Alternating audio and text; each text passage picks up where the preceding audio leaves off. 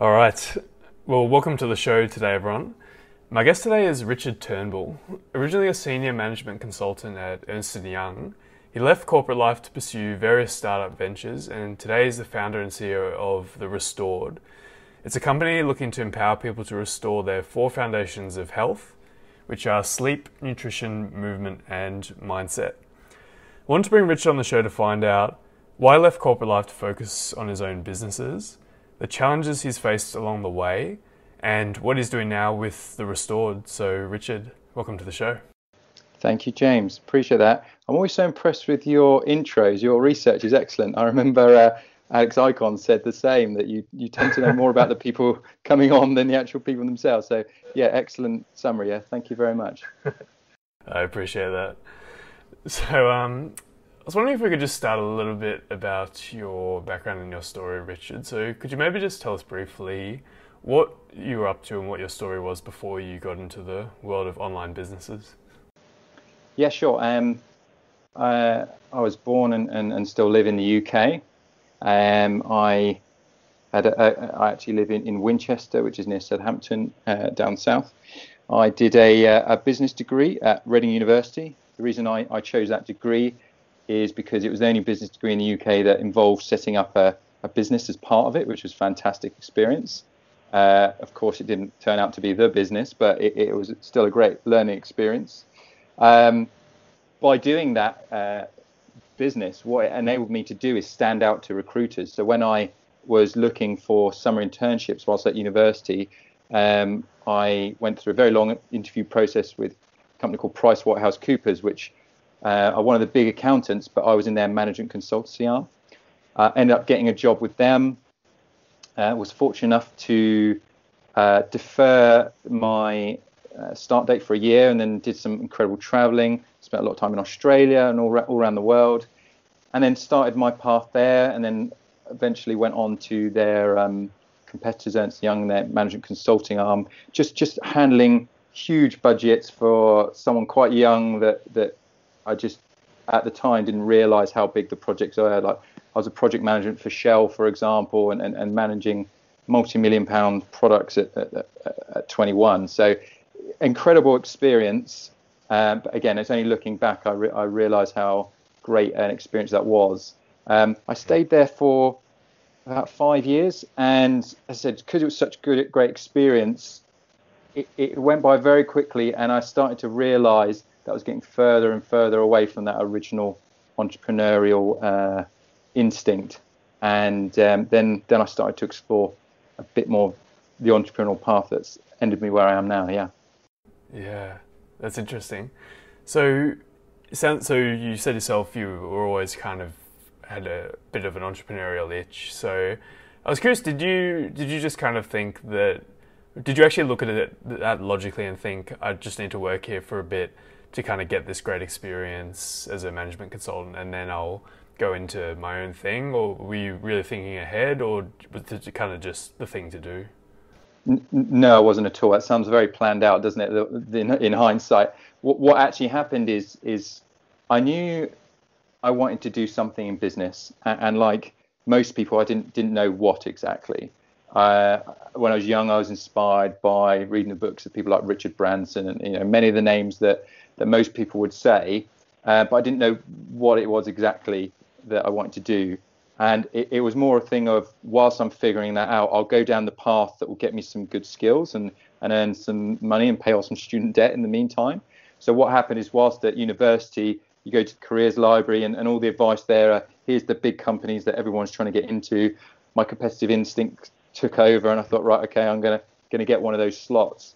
And um, yeah, it was it was. I mean, it was really revealing. Actually, I remember the last interview I had with one of the partners at the big firms, who got me in and just straight away said, "Look, you've got all the grades, etc. I'm not really interested in that. Tell me about this cool business you started up." And and and looking back, I think that was a a glimpse into that partner's um, regret. Perhaps I think he was he was just mm-hmm. trying to live through me of wow, what, what cool thing I wish I'd done, and and um, I, again, those companies are great for really building up basic skills like uh, you know just just getting organized and, and, and, communication and a lot of transferable skills the problem is the longer you stay there, the harder it is to leave because the salaries go up, and it kind of yeah. you meet that tipping point where you have to make a decision and almost start from scratch again. So it's not for everyone that route, but it's a very common route in the UK to go from university to one of the bigger firms that just offer training and and, and again meeting other other people that, that that have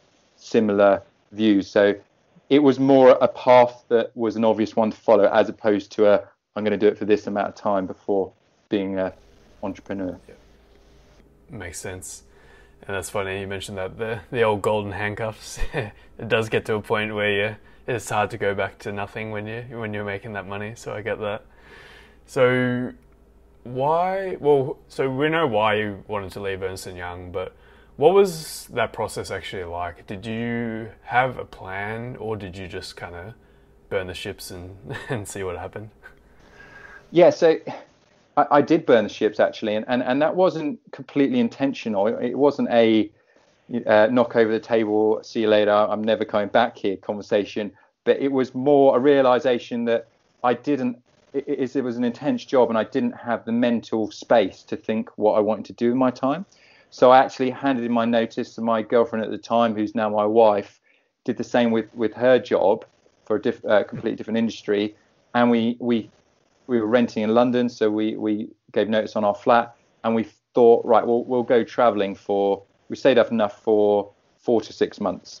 And we'll go traveling and we'll work it out. We'll have enough space to think what, what's next. We just really didn't know what we were going to do. We, we knew we were um, needed a change, is, is, is all we needed. Um, and actually, we were thinking more along the lines of where do we want to live as well. We, we were in London and, and that was great for a few years, but do we want to be in Australia? That was that was the big thought at the time. So I, I handed my notice on good terms so I could have gone back, um, but I kind of made it clear to everyone that I was close to that that that would have been failure. Uh, so I left the door a little bit open. It wasn't burnt completely, but internally it would have felt like failure going back. Um, yeah. So yeah, I, I, I always feel that you know burning your bridges is good psychologically to go right. I'm going to hit hit a good stop. Uh, I don't think you maybe there's a British side coming at me. I don't think you need to do it in a rude way all the time. You know, there, there's the temptation to email everyone and say, "I'm gone, suckers. I'm, I'm never coming back," and uh, and do it in such a way so you're forced never to be able to go back there. I think there's a way of doing it that it, it, it's still leaving on good terms. And also, I, I, companies I've left in the past, I've I've had people that actually have come and worked with me in the future. So the company I have now, I've got uh, two people from a previous company I've worked with. So if I'd you know, left on bad terms of everyone, it would have not sent a great message to them. So it was an intentional yes cut. Let's go and actually work out what's next, but in a way that was um, in, a good way, in my opinion. Yep, makes total sense. So, did traveling around did that give you some clarity on what you wanted to do next, or what was your kind of what was your next moves after you traveled around for a bit? Well, I, I I wouldn't say I'm, I'm a naturally creative person. I'm not. I think there's different types of entrepreneurs out there. I, am certainly a process-driven entrepreneur in that I like to follow a plan that, that's tried and tested, and and and I'm not going to pretend I'm an entrepreneur that comes up with 100 new ideas a day. So going and, and getting inspiration was hard at first. I was I enjoying traveling, and fortunately, I came across a book that just changed it all for me a book that that you, will probably hear a lot of on this podcast. I know it's already been mentioned a few times, and that was Tim Ferriss's Four Hour Work Week. Uh, it was my mid twenties. I was traveling. I had so much space to think. It just couldn't have been a better time for me to come across that book. Um, I, I, think a lot of people get different things out of it. For me, it, it was that process side. It was seeing the steps to take and actually following it. Uh, it's one of those books that you have to actually do the things it tells you to in there rather than reading it and go, oh, that's a nice idea. I followed all the steps and I, I actually did something. I actually set up a few online businesses whilst traveling. And wow. it, it, it, it was one of those moments that I was sat on the beach and, you, you know, we had enough time. We had a few months where didn't do a lot. We saw some great things, ate some great food, and met some great people. But I was getting to that point where I was getting a, a not bored, but just thinking of right, w- what was this next thing? And um, so what I do is just spend half an hour in, in an internet cafe, um, just starting to do the first steps of this. And and what I set up was a few online businesses. Um, mm. They're essentially ebooks online. One was about healthy eating, um, but the the one that really took off was called the Swimmer's Body. It was mm. a case of, of of again following the steps in the book at the time, which was a bit of market research into which body shape would get the most uh, would be the biggest market, and we were looking at mm. testing gymnast body shape, and um, it was between gymnasts and, and, swimmers in the end, and swimmers had the most search volume. So uh, a friend of mine created the actual content. He was a he was a nutritionist and a, and a personal trainer. We created this ebook together, and I created the site. And um, I'm not particularly technical, but just using online tools. And then we set up an affiliate network, and um, it took off. It, hmm. it, it was my first taste of of of real success. Of of okay, I've I've tried a few little things here, but I've gone through this really methodical approach, and um, it was starting to make some money. And and, and uh, in context, it was making money for someone living in Thailand at the time. We we'd come to kind of that four four five month period of uh, traveling where our funds were running out. Unfortunately, this this ebook enabled us to travel uh, for nine months in total. So it funded the, the exact four hour uh, four hour work week lifestyle that Tim Ferriss talks of. So sat on a beach, a typical day would be you know having having some fresh fruit and smoothies and and a nice balanced breakfast, and then then going for a swim in the beach, spending some time with my wife, just just relaxing and catching up. Then an hour in an internet cafe, then some kickboxing in the afternoon, and and and then just dinner and just chilling out on the beach watching a movie. It, it was literally what most people aspire to have as as the free lifestyle. So uh, yeah, that, that that I can certainly recommend that book for anyone in that mindset of uh, um, inspiration.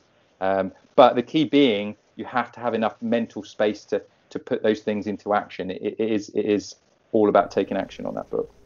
Yeah, that's cool. It's a cool story, and it's it's definitely true. I've I've found that myself as well. When when you make sure when you have extra mental space, uh, you really do absorb a lot more information, and you actually do kind of tend to take a lot more action on it. I found for myself personally. What What do you think for someone who? Because I guess it was good timing for you because you were you were already on traveling and you kind of had this mental headspace, so it was kind of great timing that the book came into your life at that point. What do you think if someone's just living their regular life, like they're working like a, a busy job and they don't have as much mental space? You got any thoughts about how someone can kind of, I guess, cultivate that a bit more and, and be be open to, to new ideas and being able to implement them? Have you ever thought about that? I have because at, at later stages in in in, uh, in, my life, I've had kind of milestones where I've had similar similar um, challenges, and a lot of it is is, is going back to that original inspiration. Uh, for me, and I can't say this works for everyone, it's it's all about immersion. So if if you want to uh, learn how to swim, uh, I think you can you can do swimming lessons once a week, but you would learn a lot more by taking five days and just just really you know spending five days with learning different ways of doing it. But it's that immersion of really going into something and, and that being your main focus. So in the past, for me, when I needed that that readjustment or that that look at what is the most important direction to take next, I've actually taken a week off work. So I remember doing that with with my finances a, um, a few years ago. I read uh, a book that if you're if you're looking for long-term sustainable uh, compounding return on your money. I recommend the book called I think it's called Money by Tony Robbins, and that that is a lot about pensions and things like that, but it's more about investing early and and compounding just small amounts early. I actually took a week off just to devour that book and actually commit to myself that by the end of that week everything will be set up because a lot of these mm. things are I'll, I'll, I'll, read it i'll do a bit here a bit there you get distracted and you realize a few months have gone by and i've done 20% of it and that 20% is great uh, I'm a big fan of the 80-20 principle about you know focusing on the things that are going to give you the, the, the 20% of effort that's going to give you the 80% of results. Um, so I think you know, for me, I've got certain places I go. I'll take I'll take a few days off. And it's got to be a long enough period that you know you're not going to be uh, distracted by something else. So you know, if, if you take a day off, you know that that thing you started on the day before is going to come back the, the day after. So taking a, a, a, reasonable at a time to really think about it. And I, I, have a few thought exercises I go through on that. Uh, a lot of it for me is not just what, what business to do, but how I spend my time.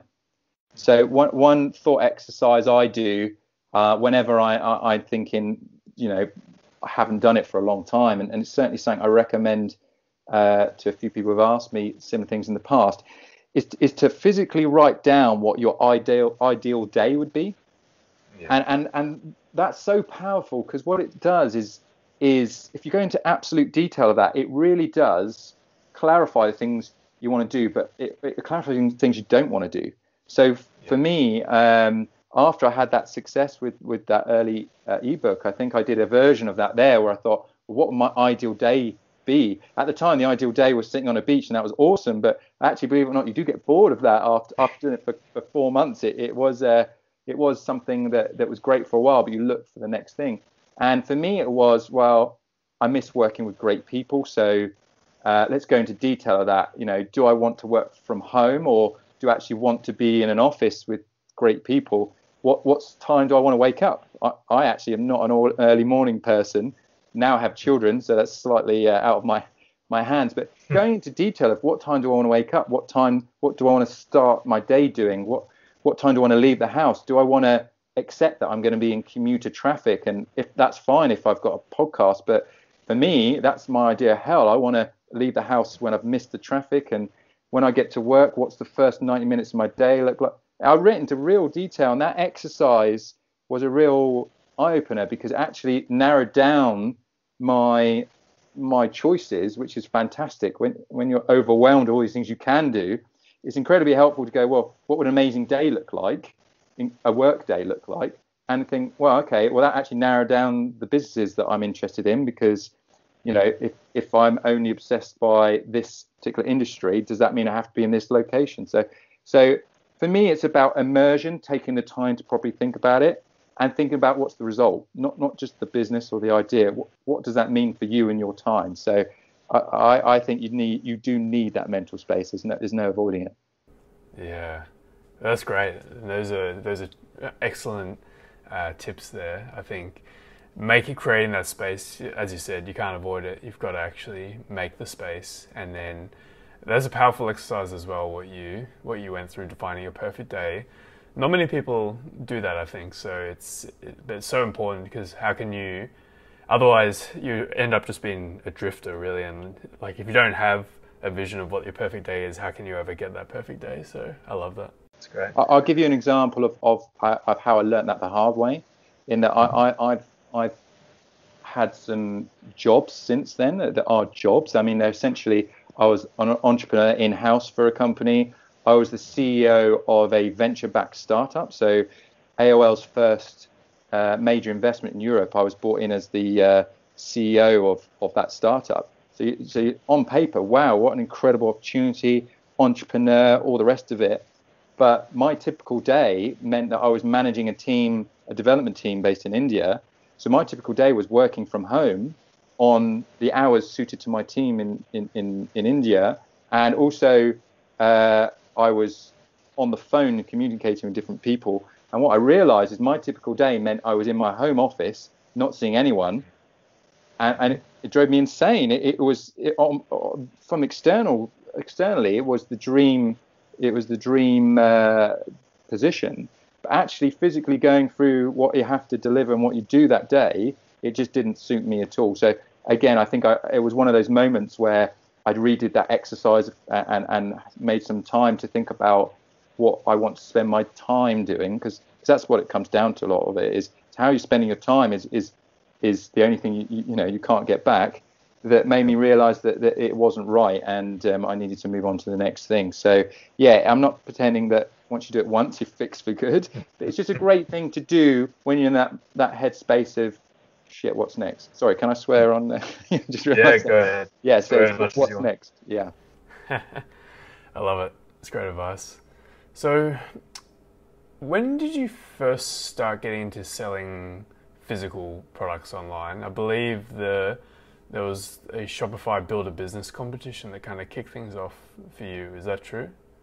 That is true, and I've no idea how you found that out. How your research is incredible. Um, well, I mean, again, talking about finding mental space to do it, I, I was away with with Naomi, my wife, and my best friend and, and his now wife, and we just took a long weekend away. And and wow, I really have no idea how you found that out. That's impressive. and um, I dig deep. yeah, yeah, I realised what's online. And um, I remember being away in this, this um, as, a, as a holiday park, and, and I said to them that there's this cool competition, and, and and one of the prizes was to meet Tim Ferriss, who of course is is is a great inspiration for, for me from that book, and and and a few other great mentors. And I thought, oh, I've got to win this competition. I'll, I'll, get to the punchline. I didn't win the competition, but hmm. still, it, it, it inspired me at the right time. So I was away for that weekend, and and and we tried a few brainstorms and tried to get everyone. I said, look, I, I will buy you all a beer if you can help me come up with this idea. And actually, what happened is I went and sat by a pool for a while and went through a very methodical uh, process, which was right. Okay, this product needs to be this sort of size for shipping. It needs to be this. It needs to be that. And um, uh, the the idea I came up with originally was incredible. Uh, the first idea from that weekend was was a few, but it was something to do with yoga mats and uh, very un unoriginal. And mm-hmm. I realized that my subconscious had picked that up from the Tim Ferriss blog. And I went back to the Tim Ferriss blog, and there was a guy who was highlighted by Tim as as someone who'd really delivered on on the four hour work week uh, wording of a muse. So in the book, they talk about creating a, a product or, or, or a service that you that's not reliant on your time, and that that muse gives you enough cash and funding, and it's set up in such an automated way that it, it enables that that lifestyle. And I remember it was only after that weekend I came back and, and realized that, that, it was because there was someone I'd read about on there who was selling yoga mats, Ma- massive yoga mats, I should point out. They're, they're for like studios or, or, or large rooms. Mm. And um, I had a, I had a few other ideas, and, and a lot of it was driven by personal need. I had a lot of back pain at the time. From from again, I was still at that startup where I was um, managing people remotely from my home, and just spent all day on, on a terrible office chair. My back was killing me. Um, my my young son at the time was only six months old, and it got to the point I couldn't pick him out the cot because oh. my my back was hurting me so much. So it was it was so clear that that was an issue to solve. It didn't uh, it, it didn't highlight to me that that was necessarily the business idea at the time. So um, I, I reached out to this guy who was a entrepreneur, as I said, featured on on on the blog, and said to him, um, as as I always recommend people do, how can I add value to you? I've got a few ideas of how I can add value. I see you've got a business. I'd love to work for you for free uh, on the side. I'd love to do some stuff for you for free. I'd love to. I've had. I've looked at your business and got some few ideas.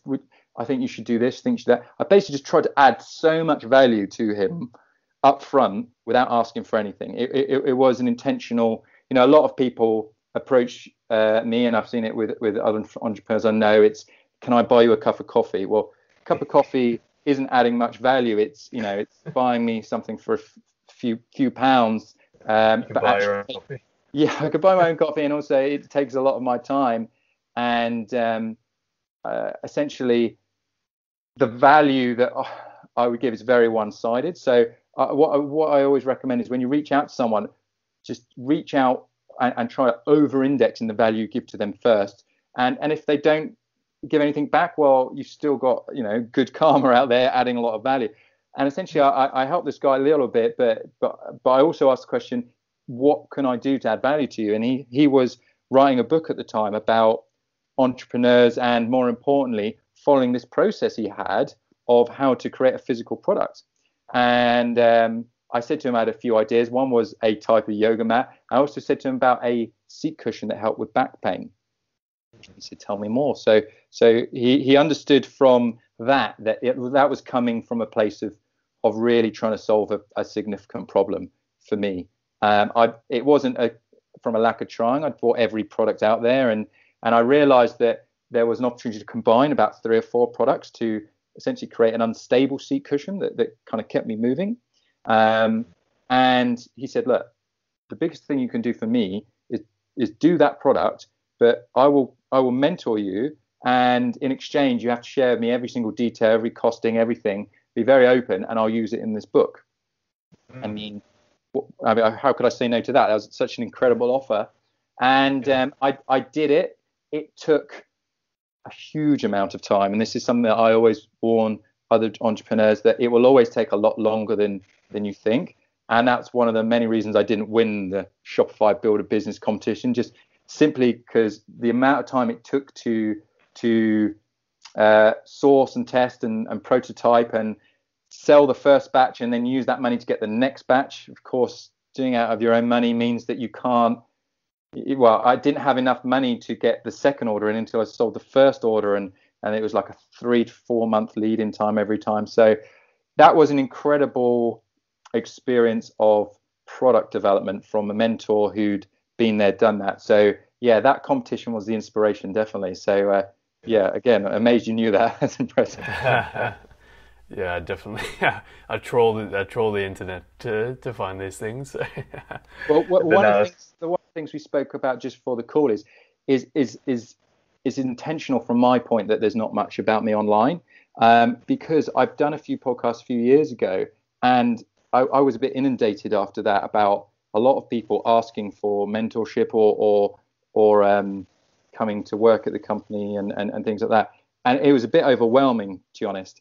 And and it was it was only afterwards that I realised it was that whole value added uh, uh, thing. And and from my point of view, if I do anything, I really really want to add a lot of value. So we talked before the call about how, what it is your audience would would most uh, want and get from this. And for me, I really want to deliver on making sure that if I do anything, it really does significantly help people. So there's tools and, and processes I've gone through that I'd love to share, but intentionally um, to contact me, it's always through through the company, through our brand.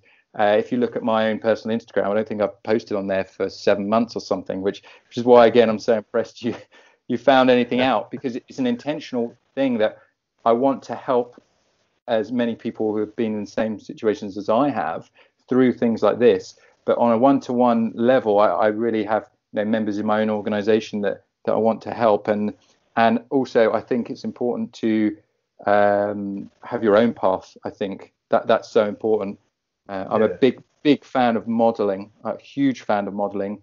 But you can model through books, you can model through remotely from learning what people are doing. You can model for from people at your work, and I've been fortunate enough to have thousands of, of, of inspiring people, but maybe tens of people that that without realizing it mentored me simply because I've worked with them and, and just picked up on what they're doing and I've added value to them and they've coached me a little bit, but we've never called it a coach or, or mentor. But but I intentionally just went to them and, and, and it wasn't about copying everything they do, but it was for that one thing I want to learn. You know, I will model them and, and find out about it. But um, again, it's all about adding value up front. Yeah, absolutely.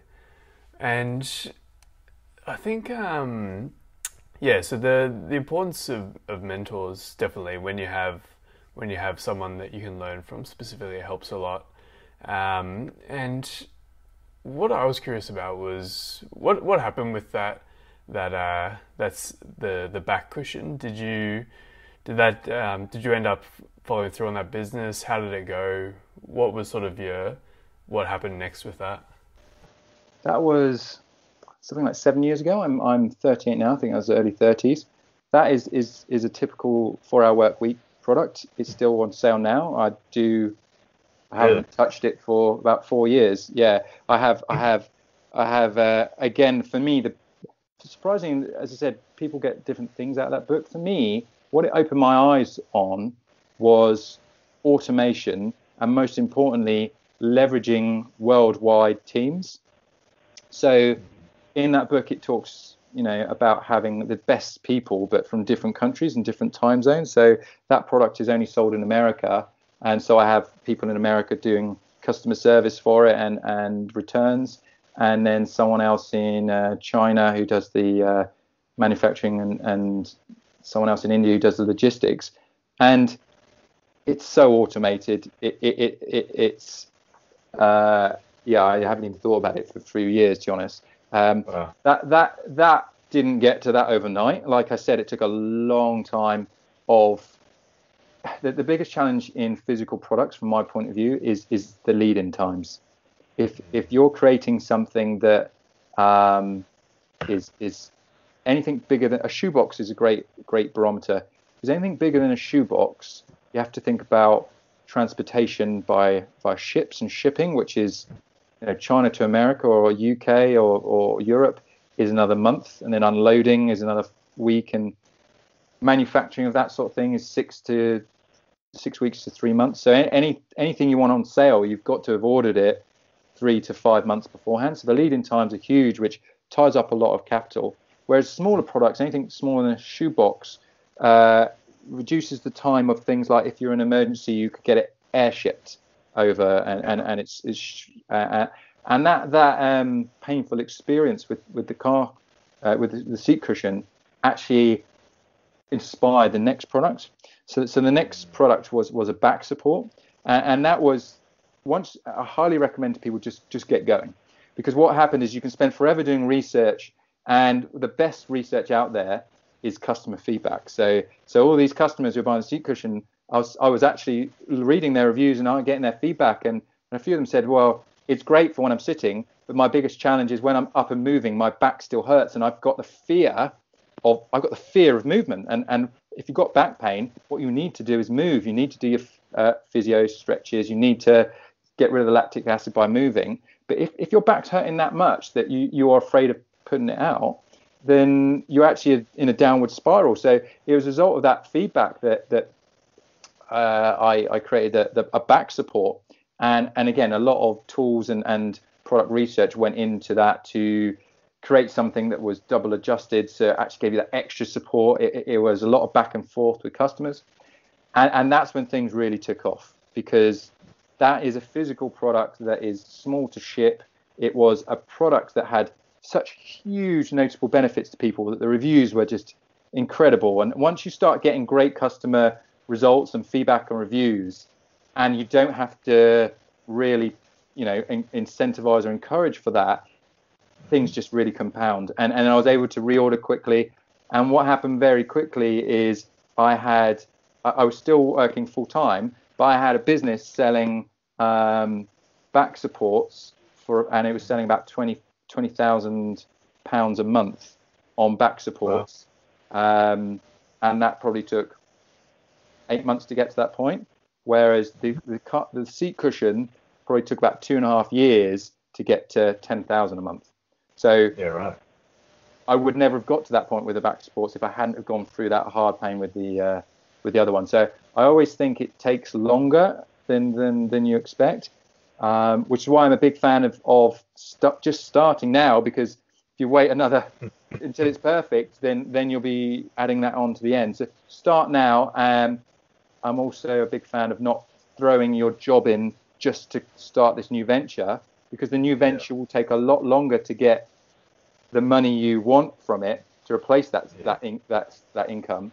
So I, I, often recommend, depending on the type of business, to, to start the business on the side yeah. So you take that time off to have that thought space and realize what it is, and then just start and then and then use the, the, your salary and your, your your money coming in to fund that business and accelerate it to you're at that point where well I've just you know I've got to go and really go for this business because it's it's going so well, as opposed to I hate my job, I want to leave it, start this new business tomorrow. Oh no, two years time it's still not making money. So yeah, that that's um, that that's come through a lot of pain to come to that realization. it's good advice because it's easy to, um, yeah, to to kind of have that mindset of just yeah, let's burn the ships and go all in, but it puts you in that position where you can start to make short-term decisions for pure necessity of wanting cash to to pay pay the rent and pay for food on the table. So the longer you can delay that, if you can fund it, as you said, with your salary and work on it on the side, you're going to have a much longer sustainable view of the business. And um, yeah, I totally, I totally agree with that. So it's good advice. Yeah, and what, what was also great is is is at the point in time that the business is going particularly well, I realised that going back to my previous experience about wanting to work with great people, that I wanted to not just spend my time doing back supports. I mean, I still have passion for that problem, helping people with solving their movement. It's, it's a bit broader than that now. People who got are in pain. So helping people with their movement, their nutrition, and their sleep is, is what drives me because they're issues mm. I've had in the past. So it, it, it's it's it's always something you want to improve on. It's not fixing them all. Um, so yeah, it, it's it's a case of coming back to, to what drives you again. Yep, makes sense. How have you? How are you such a a systems thinker? Because it sounds like you are very systems oriented, which is is great for a business person, obviously. Is that just the way you're wired? Have you always been that way, or have you got a system for being systems thinking, or how do you kind of think about systems? uh, you're right. I absolutely am, and and it took me a long time to embrace that and realize that. Um, I went to a couple of Tony Robbins events this year, and he categorizes entrepreneurs as three types, and and what it made me realize is I embraced the type I am, and, and kind of lever, uh, kind of work with the other types to get get the most out of it. Um, entrepreneur is a broad term is is quite an appealing term nowadays, but actually, if you break it down into his terminology, he, calls it either an entrepreneur, a manager leader, or an artist. And in those definitions, an a, a more traditional entrepreneur loves the idea of, of a high high risk, high reward business. The idea of it doesn't really matter what industry in. It's all about creating something that's a rocket ship and and a, and not risk averse at all. It's about creating the, the fastest startup that, that's going to blow the world away and they're going to be on the front cover of Entrepreneur magazine. Um, the the manager leader is is the process person, the guy who or the female who thinks about creating something bigger than themselves, and it's about putting in place systems that that make something incredible. And it's it, it very very matters what industry they're in. It has to be something that drives them. It has to be delivering value to to, to customers, and importantly, also delivering value internally, creating a place for people internally to feel like they're helping customers. So that's that's very much what I realised I was, and um, and embrace that. And the final one is is is an artist, someone who who is driven by the creative, and that's someone like perhaps Alex and Mimi Ikonn, who it's it's more about the product and the and creating value and and and communicating that. So uh, actually, interestingly, statistically, artists tend to make the, the most money out of out of those three. They're the ones who are kind of the, the pinnacle. If you look at in sports arenas, for example, it's those artists, those one or two you know the Messis of the world, the the, the, the people who inspire tend tend to be um, the ones that made the most money. But all three of them have a place in business. And I think what it is is not trying to put yourself in a box you're not. I always used to want to have the tag entrepreneur, and I think it's a it's a broad term now. Uh, the way you get there has to work for you. I I, I think my process um, methodology comes back to when I was working with those big companies. I was trained as a project manager, and it was about delivering the result. So I'm assessed about getting the, the end result and what's the steps to get there. And, and I've kind of got my own theories on on on steps and processes for everything, just because I've I've uh, yeah modeled other mm-hmm. people who have done done that before. Mm-hmm. Makes total sense. There was something I heard you say where you basically, uh, this may may or may not be true. Correct me if it's wrong, but you tend to approach creating businesses with the goal of selling them, and not necessarily actually wanting to sell them, but just having that mindset of if we are going to sell this one day, there needs to be good systems in place, and it needs to be something that someone else you can remove yourself from the business and it can still run. So is that is that true? Do you think in that way, and do you think that's a good way of approaching business? I, I uh, that's half true. I I I, uh, I, absolutely do think in the way of being a business owner rather than a business runner, and that comes from a book called The E Myth Revisited by Michael Gerber. Familiar with that book? Mm. Um, what what that talks about, and again, that's perhaps where the systems thinking comes from, is that if you are creating a business. And at the, at the beginning, you will do everything. That's just the way a, a, business works. Is is the first time something's done, it makes sense for you you to do it, and you learn it, and then you can brief other people on it. Um, but if you're going with the mindset, I'm going to do everything and I'm the best person to do it, um, which may be true depending on what it is, it what you're actually doing is creating yourself a job. And and and the challenge with that is you can't scale. So um, the the way the E Myth Revisited looks at it is yes, you should absolutely think of of um, removing yourself from the day-to-day delivery. And actually, the four-hour work week talks about automating things that if you're starting to do something repeatedly and regularly, can you document that? Can you create a video on how to do it? Uh, and can you empower someone else to do it? And actually, after a while, they tend to do it better than you because they do it so regularly. Um, so my mentality is less about you know creating a business to sell every time, but it's creating a business that's not completely reliant on me, which does make it a sellable business. But the the, the driving force on, on that is again coming from that management leader psychology of creating something much bigger than me. I mean, I I I think I'm I'm add a lot of value on taking business from zero to um, so 30 40 50 million pounds as, as a business that that's kind of my my sweet spot because a lot of that is all about setting up systems and, and creating uh, kind of a mission and, and, really inspiring people to come and, and join that mission and creating something that is adding so much significant value for our customers that that it kind of you know feeds the, into the back end and people come back to us and, and the business grows. Once you kind of get beyond that it, it, it gets into a kind of medium sized company and it gets a bit political for me. So uh, I, I, think for me i haven't got beyond that level but maybe uh, i will change in a few years time but for me it's all about when you go into setting up a business it's very hard sometimes to let things go and let other people do stuff um, fortunately, I've been in that position where I've been forced to do that. So um, some of my businesses, I've just not been in a location, like selling and doing returns in America. I wasn't in a location to do it.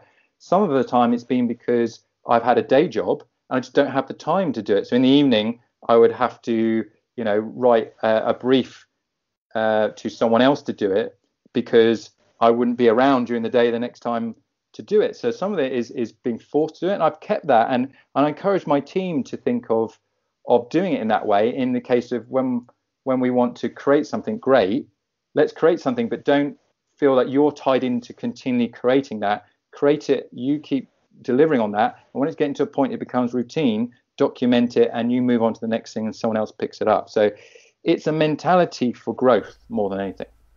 Mm, makes total sense.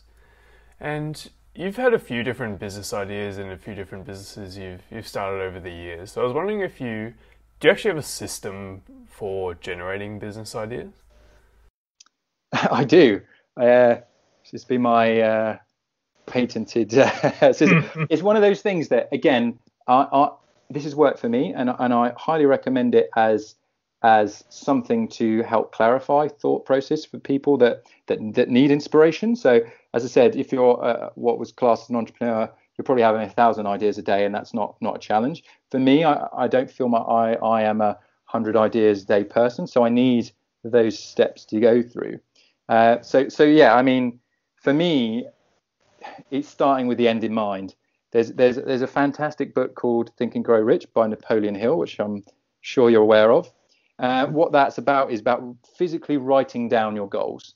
And there's a lot of exercises to do in that book. But, but again, if you do the exercises, you, you will get so much more out of it. And, what, and it's a lot about daily affirmations and visualization. And for me, knowing at least what your next biggest goal is and having that in front of you, being clear and, and, and clarifying what where you want to go is is the is the first step. Then and then kind of step two, I suppose, if, if we're looking at it in a process, is modeling. So it's finding out people that have already achieved what you want what you want to do. And and, and one thing that, that that's taken me a long time to realize is not one person is likely to to have achieved all those goals. So say you've got, you know, the goal of this this perfect house or this car or this business that's given you the lifestyle that's got this typical day or this industry that you're the spokesperson for it's very unlikely that one person's done all of it and that's your perfect person to model. It's finding out a few people who have done those very, very specific things. And it's got to be very specific. It's I often use the analogy of tennis. If, if you want, if your goal is to become a great tennis player and you're picking up the racket for the first time, don't model Federer because he's he's gone so many steps above you that actually that's you, you're you're not cutting down your learning time. What you're doing is is jumping some essential steps. So find someone who's a few steps above you. Um, you know, the, the, local tennis coach who, who you can spend time with, and then once you're beyond that level, go beyond there. So model people that have done those goals before or have got part way to those goals, um, and then then you've got to set yourself some time scales and, and get some leverage on those time scales. Um, my, my son, uh, who's now seven, has seen some of the visualizations I have on the wall, and one of them is a particular house, which is the next the next house, which which is in the catchment area for the next school we want for him. And um, he gave me some massive leverage the other day when he's lost his tooth, and he gave me money from the tooth fairy and said, uh, "This is towards the house that we're going to get." now, talk talk about pressure and, and living up to the expectations. I, I now have to deliver on this house, and I have absolute timescales to do it because we need to get into the catchment area for a school. Um, so it might not be that specific for leverage, but finding a timescale. I mean, I often think about in health and fitness is is if you've got a holiday to go on with friends.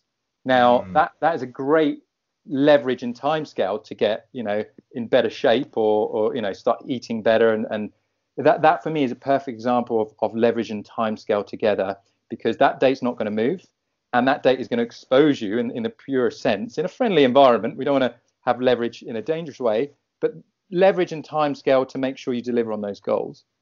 Um, and then it's it's about the 80-20 principle deciding what are the things that are going to get you closest to those goals?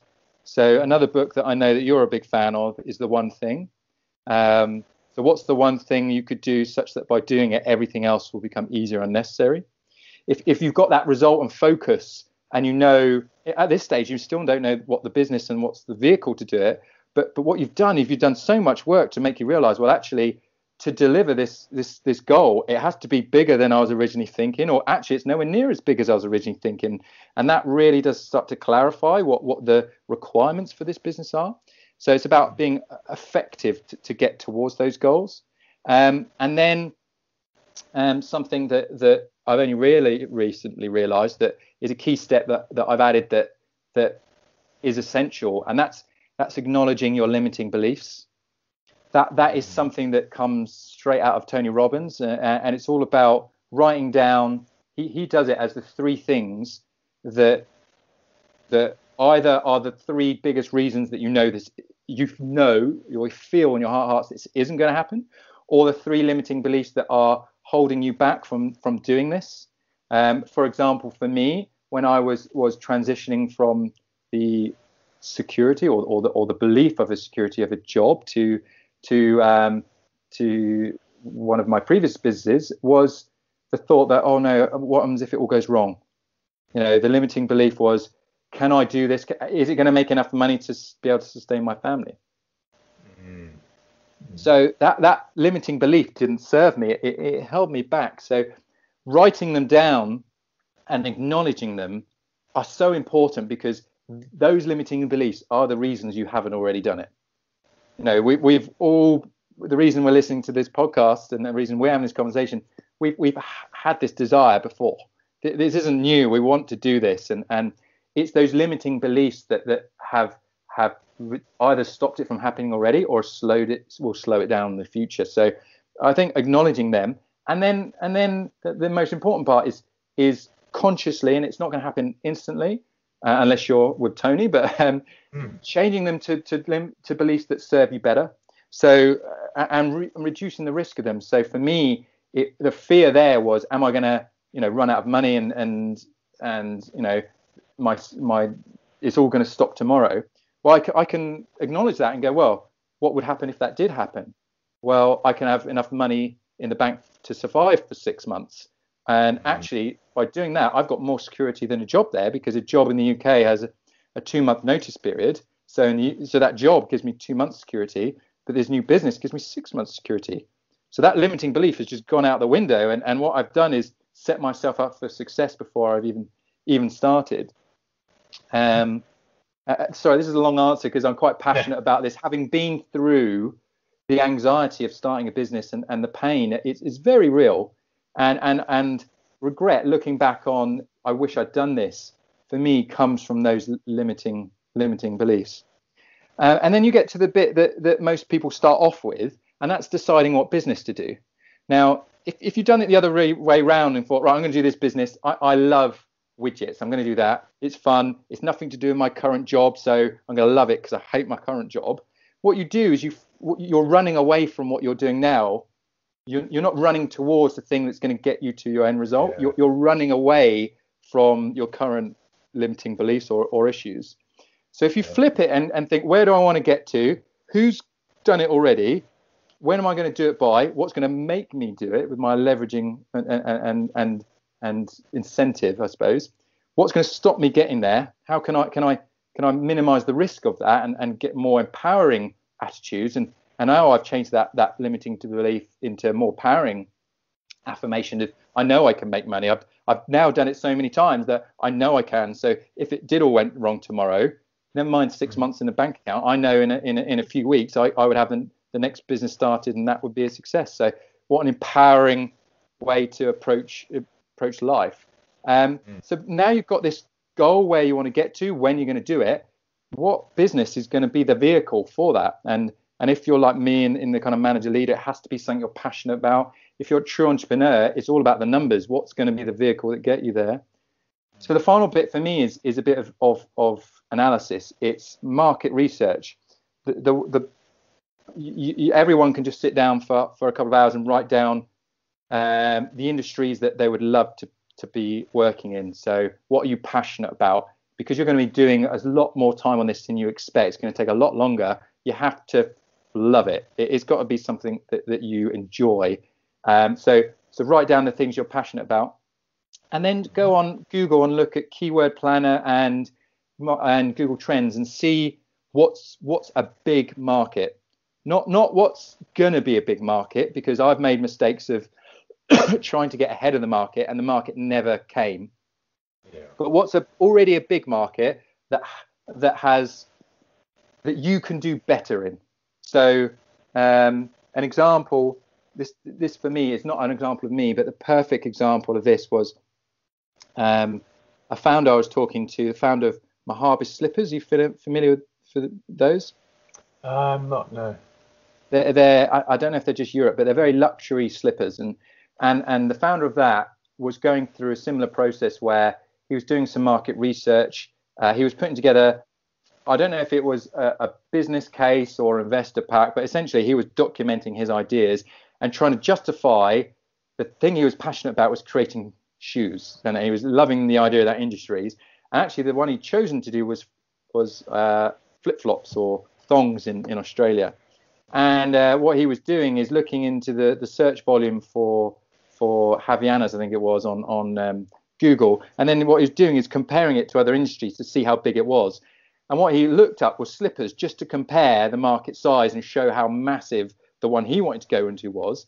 And actually, the slipper search volume was so much bigger that he was like, "Oh, I can't, I can't ignore this. What's going on here?" So, so his original idea evolved into this other market that had so much bigger potential, and, and, and it's much easier to make money in a big market by taking a slice of that pie than it is to be number one in a very, very small market, even if it's growing.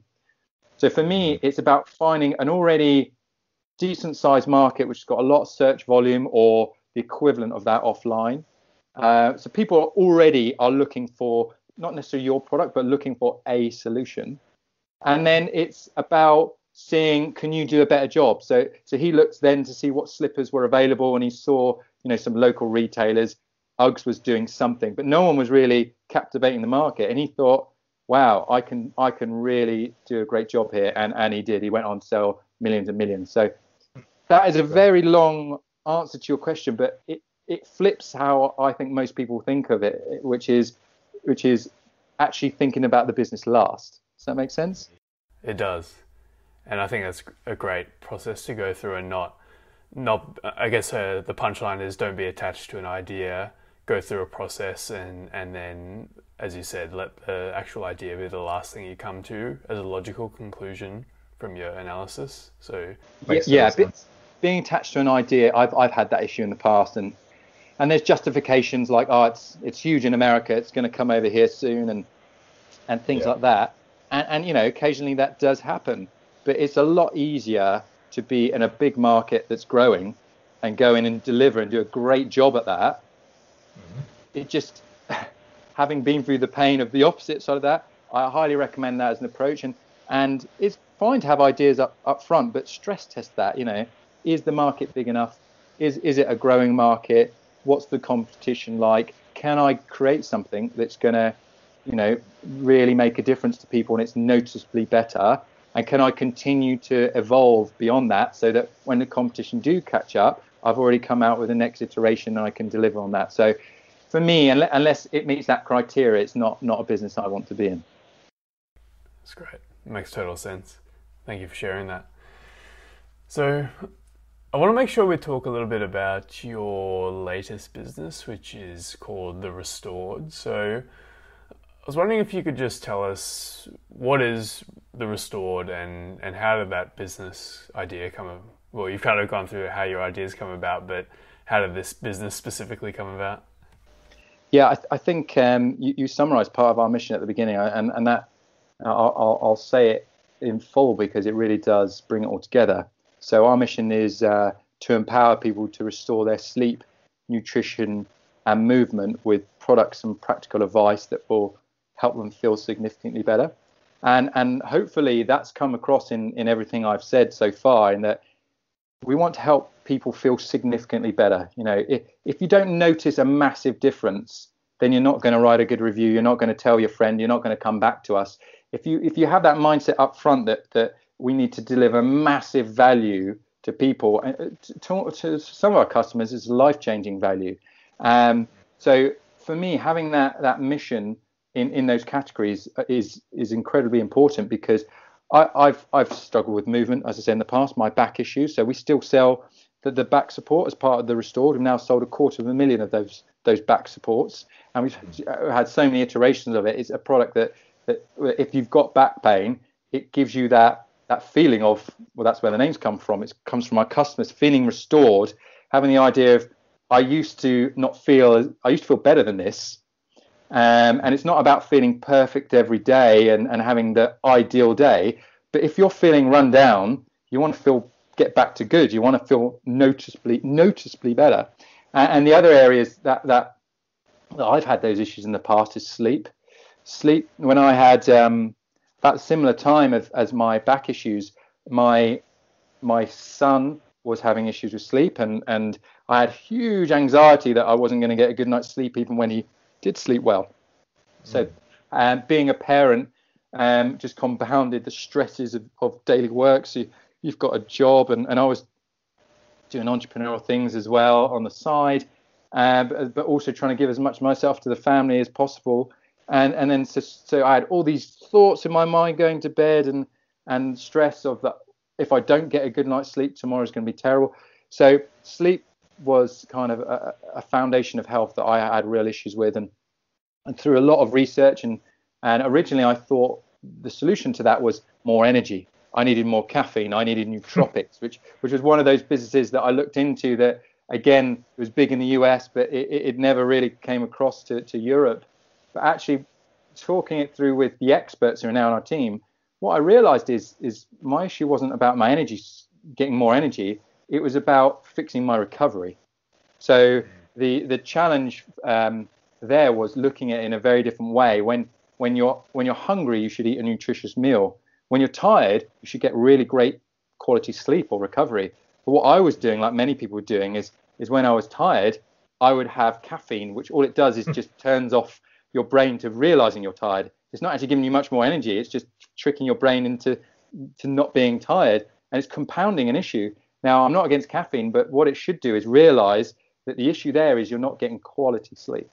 So, so we developed sleep uh, sleep supplements with nutrients from whole food extracts and most importantly, from stuff you can't get from food. There's certain nutrients that if you're sleep deprived, you're missing that you need to, to supplement to get back to good. So Uh, we combine that with with our, our, our sleep experts who give practical advice. Again, it's the 80-20 principle.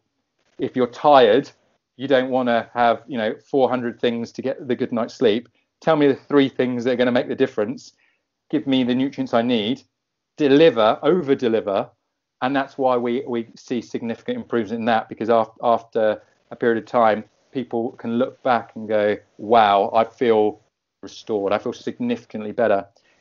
And then and then that evolved into nutrition because I'm I'm gluten intolerant. Again, all of these businesses come out of a selfish need to solve my own problems, and, and I'm passionate about helping others who've, who've are in the same situation. So we have nutrients, you know, through the use of multivitamins or omega-3 or, or food that generally, after taking it, compound things like reducing inflammation and things like that that go beyond the normal uh, things in those areas because we have such this clear vision of making people feel restored that by taking these nutrients, actually after taking them a while, you look back and go, why do I feel significantly better? You know, our probiotic, for example, is is is helping with people in their absorption of food. If if you're eating great but not absorbing it, or or you're, you've got IBS or or just just feel bloated, then once you remove that and look back, you go, why didn't I do this before? So so for me, it's all about delivering on that promise of significantly helping people feel better. Yeah, it's great. It's a great mission, and I like how you approach it quite holistically. You're not you're not a a sleep supplement company alone. You're not a nutrition company alone. It's it's all those things together, movement, mindset, all those those sort of key pillars that that they kind of all need to work in balance, which which I love. So yeah, it comes back to that thing I was saying earlier about the process for creating a product or service. First, for us, it was what's the problem. So, so sleep one, for example, it may not have been supplements. It may have been something completely else. What we realised is is we looked at what our customers were telling us was the problem. So there's many different ways to approach sleep. You know, is it about getting to sleep faster? Is it about having quality sleep? Is it about how many times you wake up in the night? Is it about your energy the next day? Is it about being so deep you're not woken up? There's so many different facets of sleep.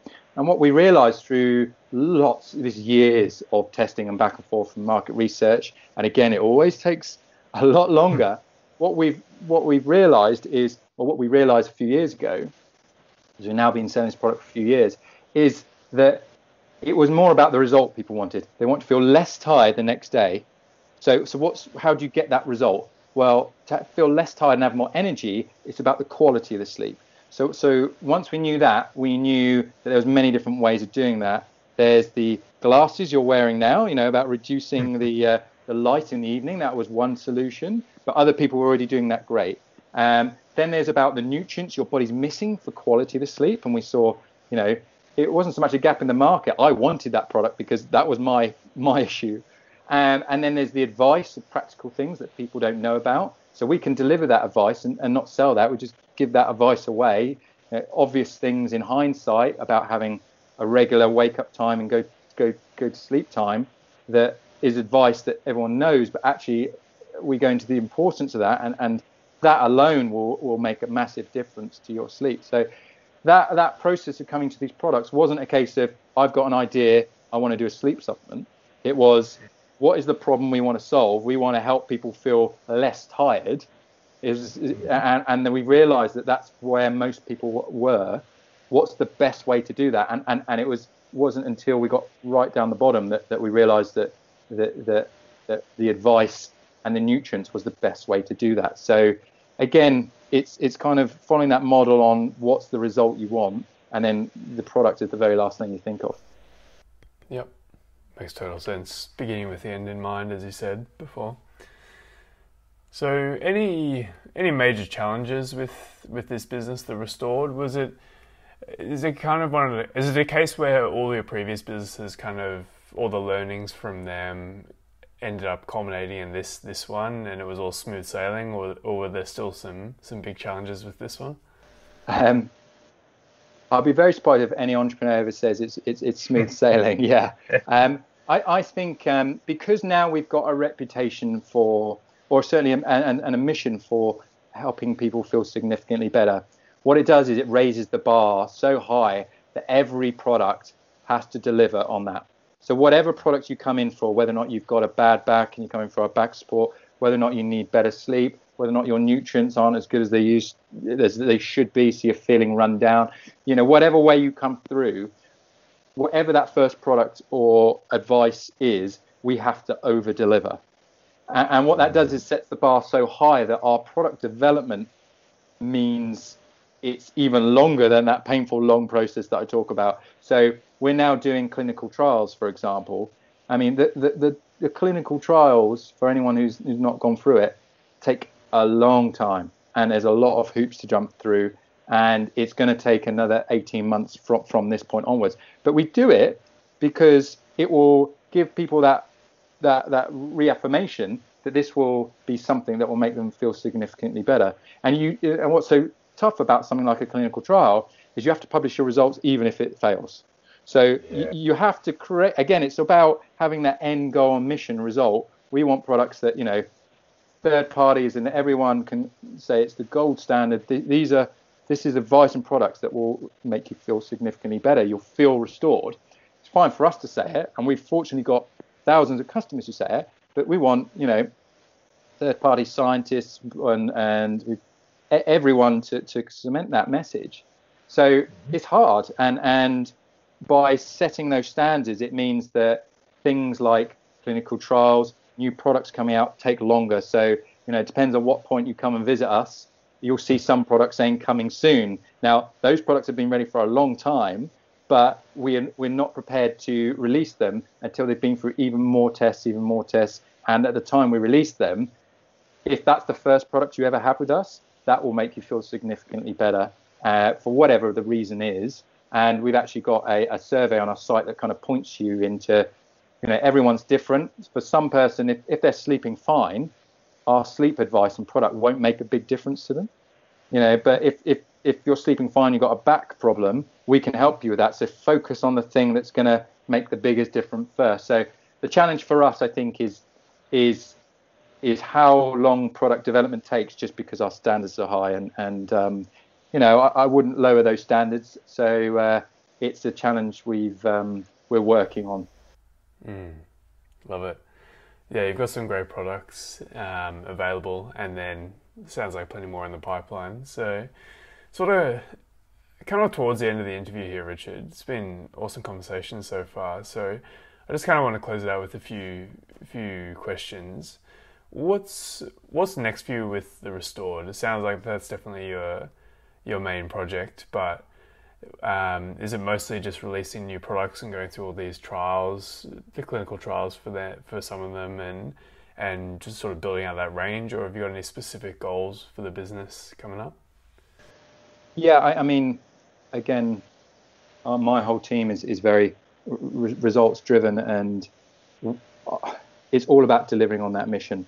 And, and as I said, fortunately, we've got thousands of customers, and you'll see some video testimonials on our website who, who it's helped. But we are not yet the default go-to for all of those problems, and that's the next stage for me. It's it's it's making us um, help help more people, but more importantly, be the first thought in people's mind. So if we're coming from a place where we are generally helping people feel significantly better, we want to help as many people feel significantly better. So that's the next stage for me, and, and the clinical trials will help with that. And yeah, it's just a case of um, delivering on that mission is, is, is, is really where we want to go. Awesome. And is there anything I haven't asked you, or just anything you really want to make sure that you pass on to the audience before we finish up here, Richard? I think you've done an excellent job of, of pulling out things from my brain that, that I've forgotten and as I said, some great research of things that, that I didn't realize were online. Um, ah. I would say, you know, if, if anyone's got any follow up questions, obviously I'll keep an eye on the, the comments on on uh, on this podcast. But yeah, check us out at therestored.com because there's our survey on there, and you can help help. Hopefully, we can help you that way. Um, we are constantly growing, so keep an eye on our website for if you want to join the team and grow with us, we, as I said, we're based in Winchester in Hampshire in the UK, but actually we've got a worldwide team, and, and that comes from the four-hour work week. In in that we care more about having the best people, irrespective of their location. So, yeah, if you want want to join us, check us out through there. Um, yeah, and and uh, if if anyone's got any follow up questions, then as I said, I'll I'll I'll, uh, I'll, keep an eye out for the comments on this, and and hopefully. Um, just want to add value and and uh, anyone who's been in that situation which I've been which is about getting inspired or just getting going my advice is is just to test something learn it think about what you want to get your result and go for it love it it's a great message to end on I think everyone listening go check out the restored.com they've got some great products and as you can tell from the last hour Richard's a really thorough guy, and and the products he creates are a reflection of that. And so I think go check out the Restore. That's probably the best way to to connect connect with him and and see what he's up to and. And don't reach out and ask him to buy a coffee. I, I, I, feel bad about saying that. I should say uh, our social handles are all at the Restored Way, and my team um, will be monitoring those as well. If you've got any questions uh, for me directly. That's probably the best way of doing it. Uh, it, it. It's it's more a courtesy to say that I never check my own social accounts, So uh, hmm. uh, it's more of a me saying sorry, I'm useless at responding. But yeah, if you've got any questions that we can't answer through you, then then check us out through the Restored Way on social or the Restored.com, and um, my team will, will get through to me, and uh, we'll kind of try and add value to anyone through that way. Awesome. So I'll make sure they're all linked up in the show notes so people can easily find it. But Richard, thank you very much for coming on the show today. It's been fascinating hearing your story going from management consulting to, to online business and the journey you've gone through to get to where you are today. And you've really shared a lot of value for the audience today about your learnings from your journey. So thank you very much. You're welcome. You're welcome. I should say thank you to you. My my, I had lunch with Alex Ikonn last week, who's a friend of mine. He's actually an investor, and he and Mimi are investors in the Restored, have been for about three years. And it was actually um, through conversations uh, with him originally who recommended you and your podcast. And, and, actually, we've we've communicated online back and forth uh, for years uh, without realizing that it would come to this. So uh, again, thank you for uh, everything you uh, put out there. Yeah, absolutely. I'm glad that we could finally connect. So, again, thank you for coming on, and everyone listening. Hope you all have a great day, and thanks for listening. Hey everyone, thank you so much for listening to this interview with Richard. I hope you got a lot of value from the interview. And if you did, I've got a real quick favor to ask. If you use Apple Podcasts to listen to this, can you go into the app and please leave me a rating and review? because that really helps me out in terms of getting the show ranking higher, exposing it to more people so they can hear these interviews and get the value from the guests.